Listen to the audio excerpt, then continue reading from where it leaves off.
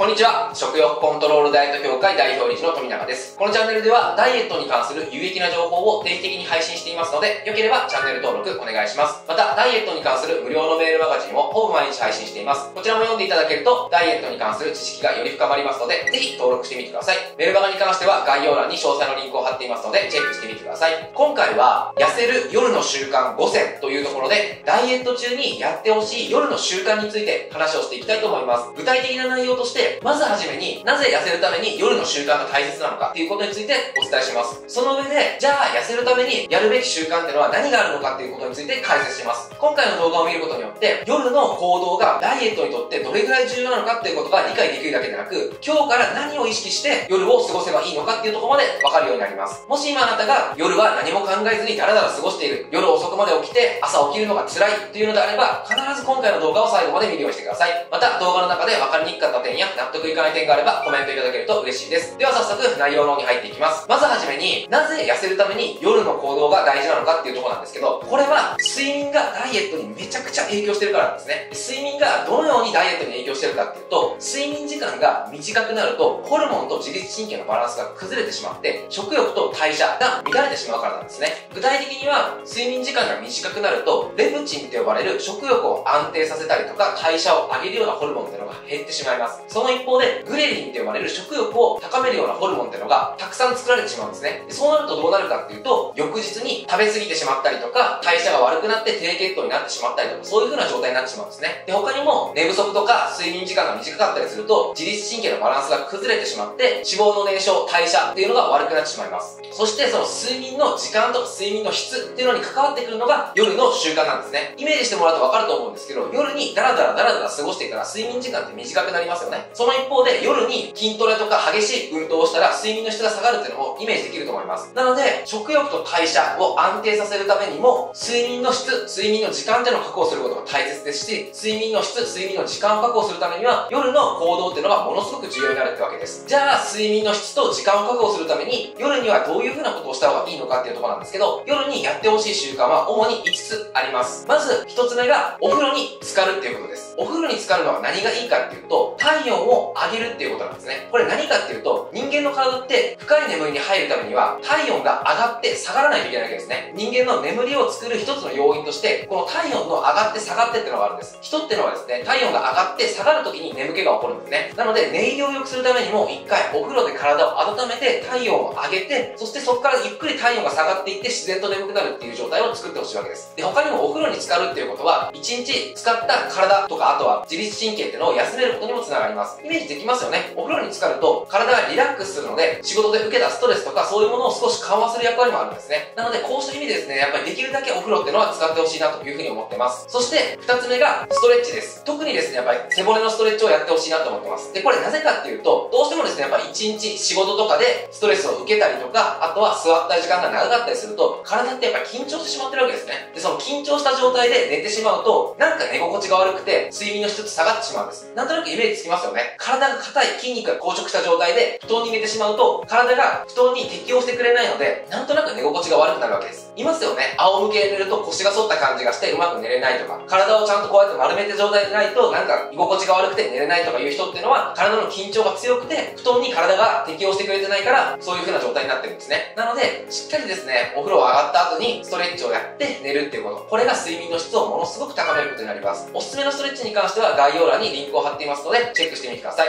そして、3つ目が横になるっていうことです。仕事が終わって、家に帰ってご飯を食べてお風呂に入って片付けが全部終わった後に、座ってテレビを見るのではなくて、横になってダラダラ過ごしてください。で、これ何かっていうと、体を起こしてる時って、どうしてもですね、脳に血液を送らないといけないので、自律神経が少し興奮してしまうわけですね。そうなると、あんまり眠気が起こらなくて、あ、そろそろ明日何時に起きないといけないから、睡眠時間を何時間確保したいから寝ようっていうことになって、布団に行くんですけど、寝れなくなってしまうんですね。そうじゃなくて一番いいのは、横になって体をリラックスさせて、自然と眠くなって、あ、もうそろそろ眠いなと思って布団に行くことなんです。時間だからといって眠くないのに布団に入ってしまうと、無駄に考え事とかしてって逆に寝れなくなりますよね。なのでそうしたことを防ぐためにも、できるだけ夜っていうのは横になって、リラックスした状態で何かをするっていうことが大切になります。そして4つ目が水を飲むっていうことです。寝る前ってのはですね、トイレに起きるのが嫌だからといって水を飲まない人が多いんですけど、これ逆なんですよね。寝る前ってのはコップ1杯の水を飲むことがものすごく大切なんです。で、これなぜかっていうと、寝てる時って気がついてないかもしれないですけど、めちゃくちゃ汗かいてるわけです。言ってしまったら脱水状態になってるわけですね。もちろんそれを朝起きて補うだけでもいいんですけど、そもそも寝る前にいっぱい飲むことによってそれを予防しておくってことが大切なんですね。だって汗かいて脱水状態になってる時って、